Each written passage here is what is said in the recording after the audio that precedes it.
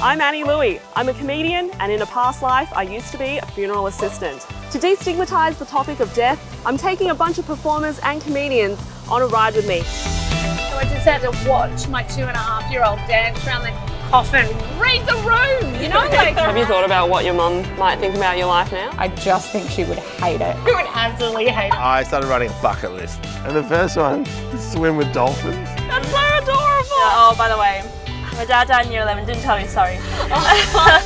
The old Melbourne jail is what's called a Pentonville prison. I felt a tingle in the back of my head, and I. That's why a lot of Aboriginal people speak about healing country because this is where our ancestors lie. Oh no, I'm gonna cry. I'm still crying. so get ready to hear it straight from the hearse's mouth.